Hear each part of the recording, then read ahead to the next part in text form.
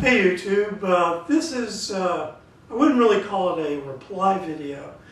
Uh, I would pretty much call it a supplemental video uh, to DTG Taiho Jitsu, uh, his video on using a walking stick uh, for self-defense.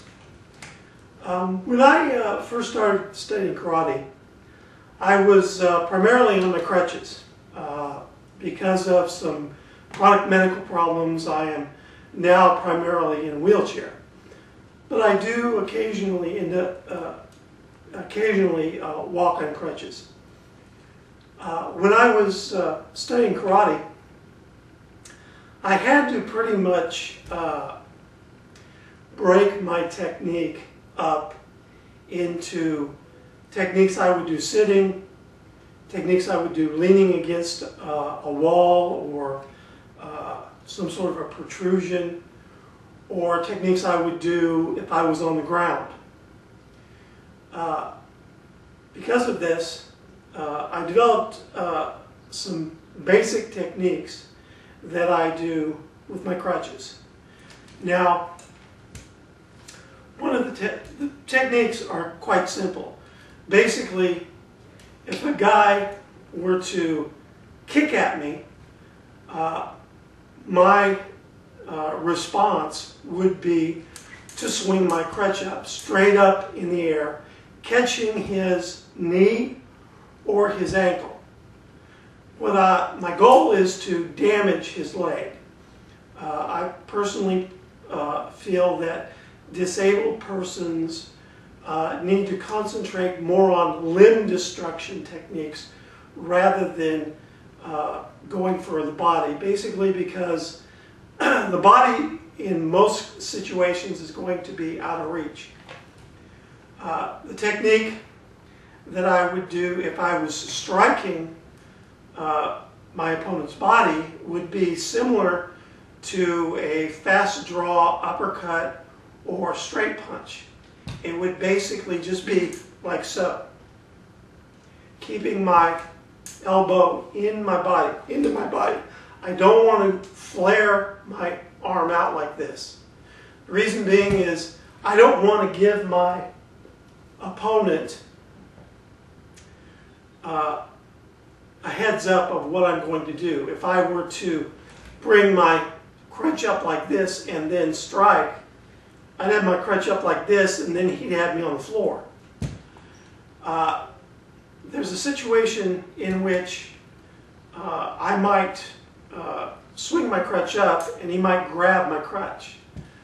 Most disabled have just enough balance that if they have a person grab their crutch, what they can do with the other crutch is bring it up and attack the hand that has grabbed the crutch. That's another technique that I would do. Uh, the techniques involve angles more than anything. The technique is, is simply to bring the crutch up like this or in like this. You can attack the legs.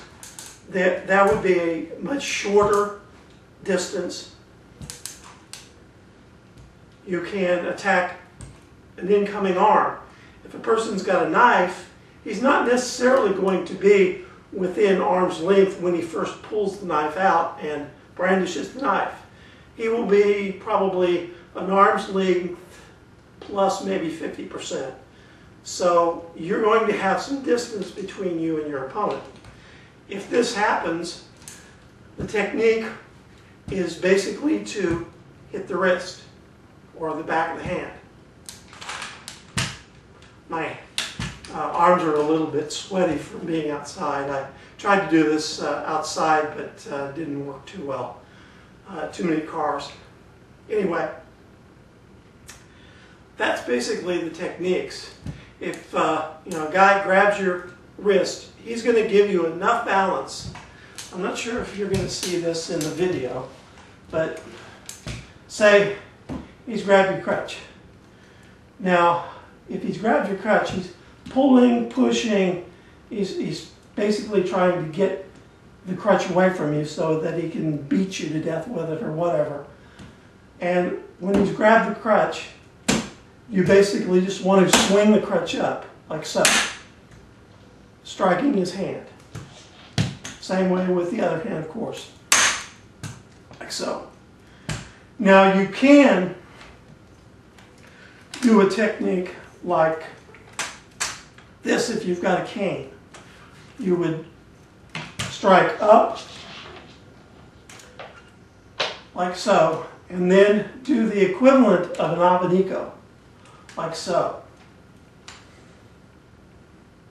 If you had a cane. Uh, this is just not balanced for a technique like that, so uh, I would use it primarily like so. And it would just ba basically be straight in for uh, strike to the body, like so. I'm not sure if you actually see the end of my crutch. Uh, there's a wall protrusion that I'm striking with the uh, crutch. That's my target.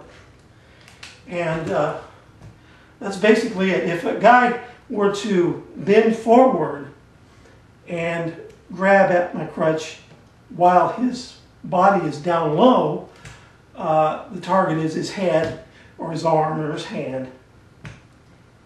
Uh, basically, that's it. Thank you.